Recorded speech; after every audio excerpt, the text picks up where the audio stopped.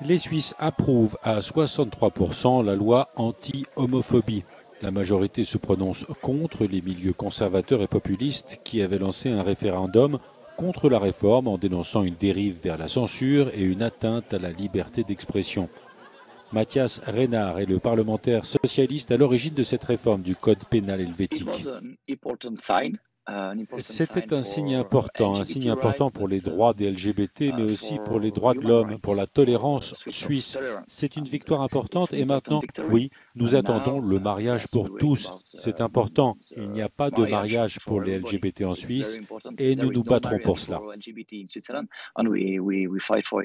La nouvelle loi élargit la législation suisse existante contre les discriminations et les appels à la haine raciale en l'étendant à l'orientation sexuelle.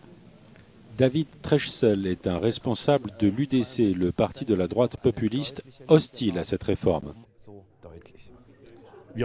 Nous acceptons le résultat. Le message est que cela implique davantage de protection. Nous sommes clairement en désaccord, mais cet argument a manifestement convaincu.